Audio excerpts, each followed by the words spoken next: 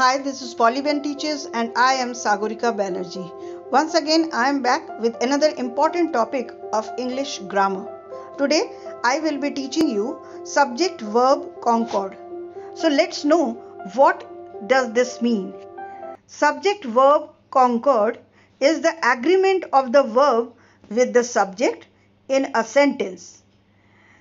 So basically when we read a sentence, the agreement of the verb with the subject of that sentence is called as a subject verb concord or a subject verb agreement. Now there are certain rules. If we know them, we will never commit any mistake. Rule number one subjects containing one of, each of, every one of, and neither of are followed by singular verbs. Here are the examples. One of my friends has gone to Canada. Every one of the managers has applied for leave today in protest against the management. Neither of the boxers was able to score a decisive victory. So, when the subjects contain one of, each of, every one of, and neither of, they are always followed by singular verbs. Now, let's see rule number two. Two or more singular nouns connected by and are normally followed by a plural verb. This we all know. Tobacco and alcohol are injurious to health. He and I were at Patna University together. Oil and water do not mix. So when two singular nouns are connected by a conjunction and that is and then they will be followed by a plural verb. Let us move on to the rule number 3.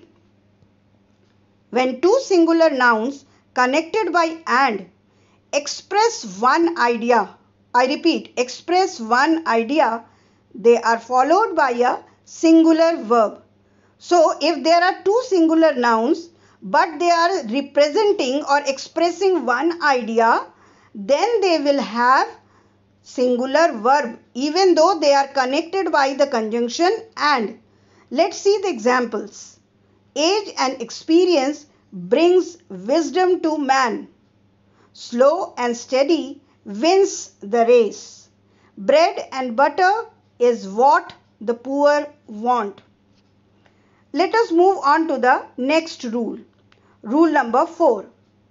When two singular nouns are connected by and and a determiner is used before only one noun, they are followed by a singular verb. If the two nouns refer to two different things or persons and the determiner should be repeated, then the verb should be used in plural. So let us see the examples. My uncle and guardian wants to start my own business. The collector and district magistrate is away. The notable patriot and orator is no more. So in all these three sentences, we can very well see there is only one determiner which is used before the first subject. So they represent one person or one thing.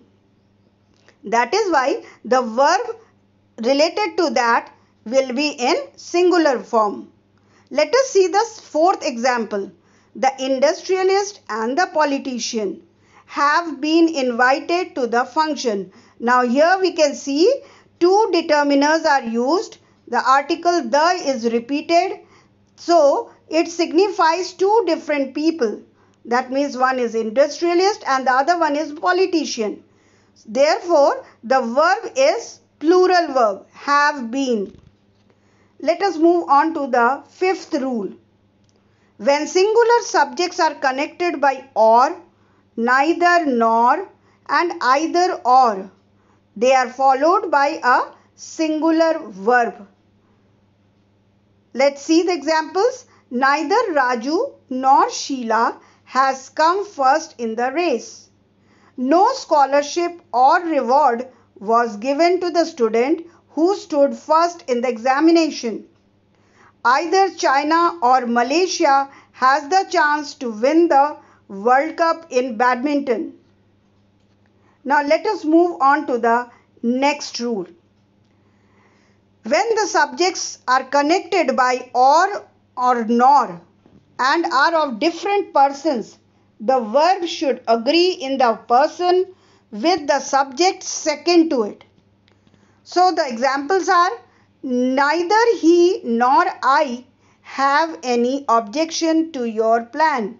So here we have put have which relates to the second subject which is I. Either you or Rashmi has to own the responsibility for the mishap.